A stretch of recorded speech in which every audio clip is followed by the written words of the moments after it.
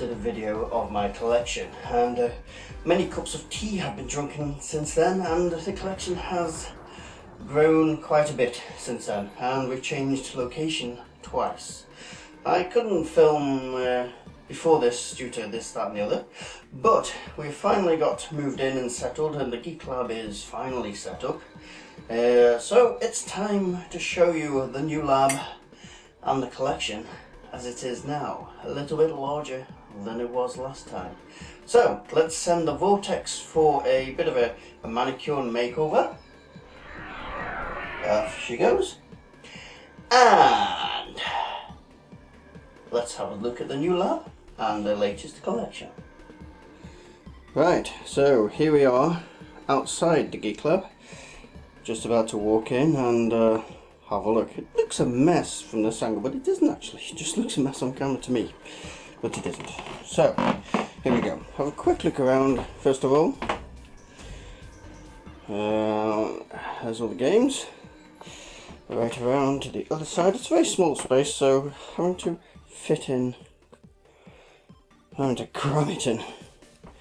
So, let's quick look around. So what I'm going to do is start with the computers, oh, downhill, and then we'll work our way around to the games eventually. So, in time old tradition, starting at the beginning, here we have my Commodore VIC-20, uh, which was donated to me by uh, Mark UK Retro Games. Thank you very much, Mark. And on top of that is my only uh, cartridge for the Vic for Golf. Good game. Behind that, with its uh, name covered up, is a Commodore 16. Sitting on top of that, due to a lack of space, is, you can see there, a Sinclair 128K ZX Spectrum Plus 2.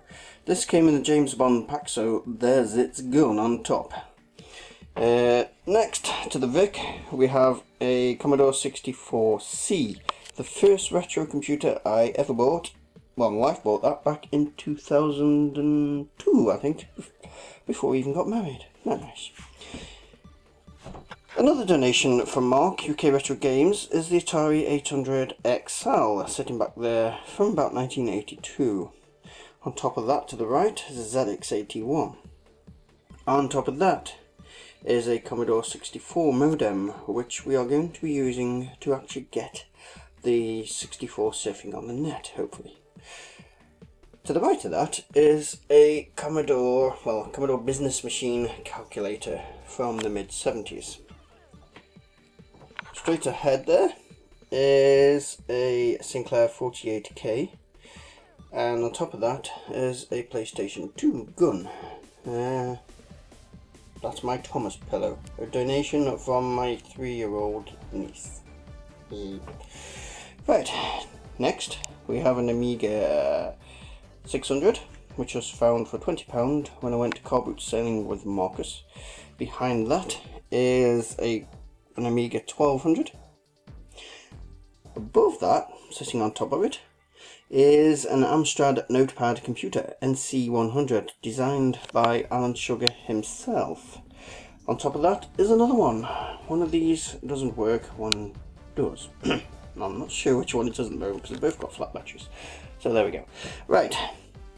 Oh, on top of the Amiga is a Street Fighter 2 keyring which my wife won on Twitter. Hey, why does she always win this stuff? I don't. Anyway, Next to the Amiga, we have a, a Game Gear from Sega, an Atari Lynx 2, mm, nice Atari Lynx 2. Behind that, we have the Master System 2, and above that, hidden below there, is a Game King, which I recently reviewed, on top of which is stacked all of its games and the note which Mark here, who donated the system to me, sent me. Right, down here we have an original uh, Mega Drive from Sega. On top of that, another donation from a gentleman in Liverpool, a 32X. Behind that, a Mega Drive 2. Saturn. Hmm, don't need to say any more. Dreamcast. Hmm, don't need to say any more than that. And Dr. Itami's uh, Deluxe Brain Games, found for a pound. Quite good. Actually, touch screen. Pound. Great. Right, in the corner here we have uh, the Air Force iCombat headset game thing sitting on top of my decommissioned Air Force bomb. Don't worry, it's got no engine, no navigation system, and no, no explosives, excuse me. So, it's not going to go off anytime soon. Right, on the shelf below here, we have in the back there, Xbox Crystal. Beneath it is an original Xbox. Uh, at the front here, and Intellivision. PlayStation 2. A PS1 with a rare third party, party screen. Behind that is a Namco plug and play. A rather embarrassing uh, pink Game Boy Advance and an original PlayStation. Next, in the dark there is an Atari 7800 on top of its box with the Bandai Electronics Gunfighter sitting on top. Beneath that is an Atari 2600 Long Rainbow. Again in the dark there, if you can make it out, is a Romtech Alien Invaders. Two GameCubes, from Nintendo obviously, a Nintendo 64, my old Arcos is there in the dark. Mr. Iggle Piggle is there in the dark. A SNES, Super Nintendo Entertainment System. A Nintendo, an original NES. Hiding behind here, probably can't see it too well in the dark, is an Acetronic MPU 1000 with Mario sitting on his head. And a retro uh, laptop bag at the back there. Right, beneath that lot, we have a box full of uh, controllers and stuff.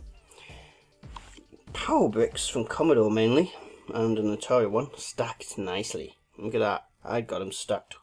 All the cables to them are at the back, hidden by behind an Atari. Uh, on the floor here, we've got an Atari 2600, uh, different cassette decks, including the Atari one, uh, a generic one. That's an Amiga external floppy drive. That's a Commodore 16 tape drive. That's a Man Flu Rescue Kit. And some Amiga games over here. More, excuse me, Commodore and Amiga games. Uh, boxes, uh, port the PlayStation 2 sc portable screen, and some PlayStation games in the corner there. Going over to, to the front of the lab, we have the TV, which is a CRT, so that you can use the uh, light guns with it. On top of which sits quick shot joystick, a Rocklord, a, a Nintendo Classic Mini. There will be another one of them on the other side, but I haven't opened it yet to do the review. Astro Wars, a Rocklord, another rock load. Behind there is a big joystick. And there's a lamp, another joystick, another joystick. And in the middle here are some very young Geek Lab chili plants. Oh yeah, just growing them. Above all this is Sonic sitting on my mirror ball. Okay, going beneath the telly we have uh, BBC Master 128K, some its manuals down the front there. The 5.5 inch twin floppy drive from the Master. In the dock there's an Atari 2600, uh, that's the Vader model, some controllers and stuff around there. In the middle here is an Acorn Electron, again uh, donated by Mark, that's UK Retro Games. There's a uh, my sole VIC-20 game sitting there, VIC-20 tape game, and my Archimedes games is in that box. Talking the Acorn Archimedes, there she is. with three button mouse. And there's the monitor. Over here is the monitor to the BBC. Got some cups on the top there and a binary clock. I haven't got the power source to at the moment so I can't show you that. And power decks and stuff behind there providing us power. MIDI keyboard which I can never get to sync right. The top here we've got manuals, training courses and a almost complete collection of Atari user, magaz user magazines. Front of that, a Geiger counter from when I did a physics course once. A uh, chess set, electronic Kasparov chess set. There is the cubes with the little characters that move in between them. I've reviewed that, I have a video on that. In front of that is my miniature arcade machine and Pac-Man wind-up clocky things, and the state-of-the-art grandstand talking computer. Hmm. Two DS's, uh, various little gadgets, and a Game Boy Pocket. There's a complete user guide for the BBC Micro microcomputer. That's a, modern version from uh, Retro Computer Clinic, I think the name is. Over here we have the ZX Spectrum 16K RAM expansion, various chargers, battery chargers and stuff like that. Right over here is the green screen where the Vortex usually lives. Just gonna have to shut the door there. Right. Yes, that's the green screen where the Vortex usually lives. Uh, various boxes on top. Game Gear box. Psion Revo box. It's in there at the moment. Uh, the Commodore 64's modems box, uh, the Atari tape decks box, two tape decks for the Commodore units, uh, one of them is actually in there, Sinclair ZX Spectrum's box, a USB card box is just sitting there for some reason, uh, the 48K Sinclair Spectrum box, one in there as well, my Atari 2600 box, behind this uh, dot matrix printer which still works and gets use now and again. Behind there is the Amiga 1200 box guarded by Monkey.